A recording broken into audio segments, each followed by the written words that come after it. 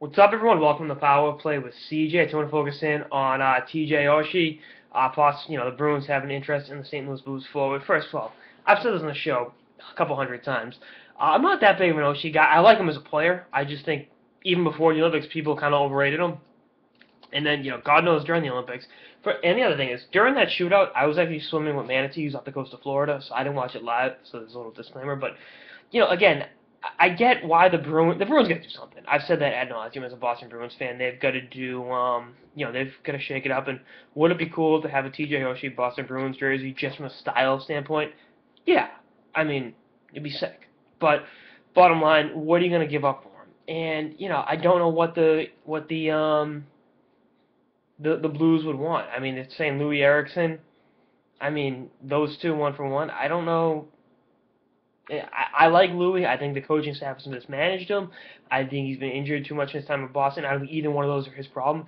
I'm a Loui Eriksson guy. I always have been. So that's something that's like, well, do you really want to throw him under the bus for what reason? I mean, and I say, well, Oshie's younger, I don't think they're they're about a year apart. Oshie's 27, he'll be 28 uh, on next week, and Loui Eriksson's 29. So they're a year apart.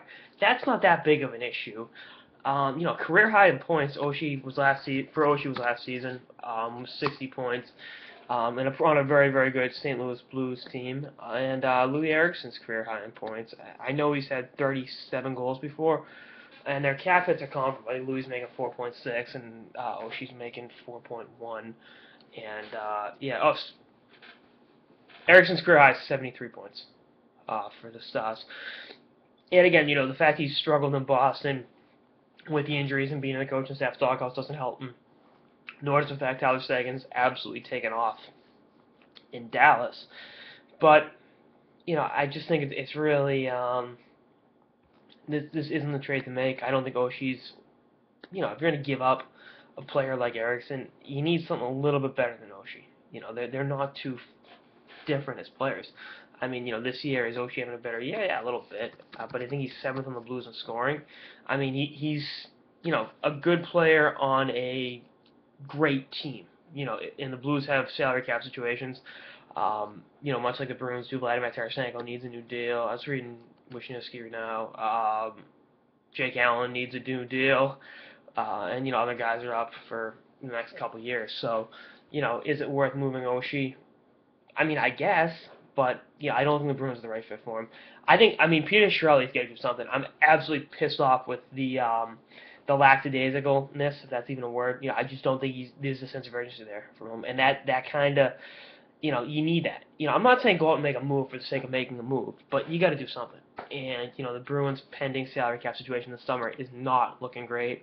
Um, you know, I, I wrote about that for Rant Sports. You know, this next summer could be an absolute nightmare for them. McQuaid's unrestricted. Torey Krug and Reilly Smith are restricted again. Dougie Hamilton's restricted. Mac, Matt he's unrestricted. Who cares? But you know, that's that's a uh, a not great situation. So you know, we'll see what happens. But again, I wouldn't doubt the Blues moving Oshie. If I would have traded him, I would have traded him last year when his stock was at an all-time high. And I think it was Rear Admiral from Barstool tweeted this. How many Bruins fans knew who TJ Oshie was before the Olympics? So, you know, we'll see what happens. Anyway, that's on episode of the Power Play with CJ. Stay tuned for episodes of the season and beyond. Later, guys.